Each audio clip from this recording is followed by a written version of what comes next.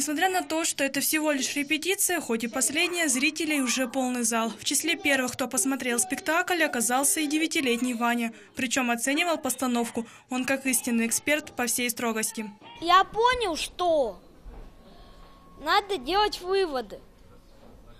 Причем, что очень хорошее. День рождения может быть всегда и везде. Спектакль «День рождения Дашеньки» больше похож на реалистическую фантазийную притчу о жизни человека. Ничто не вечно. Такие выводы делают уже более опытные зрители. Время проходит, все проходит. И только, э, как, как говорил Антон Павлович Чехов, мы уйдем, а меня будет помнить море, э, эти камни, которые возле моря на берегу лежат. Этот спектакль еще не ставился на театральной сцене. Тем не менее, на подготовку к премьере у артистов ушло всего около двух недель. За это время прошло более десяти репетиций. И, как признался режиссер Сергей Иванников, спектакль полностью не закончен. Не все успели сделать. Что именно не закончено, режиссер оставил в секрете. Тем не менее, постановку зрители завтра все же увидят.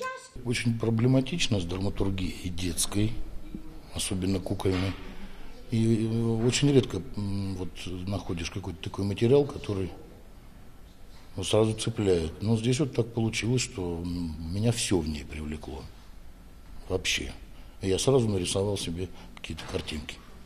Рассчитан спектакль на зрителей старше 12 лет. В нем всего одно действие, длится оно 45 минут. Оценить работу режиссера можно завтра в половину седьмого вечера.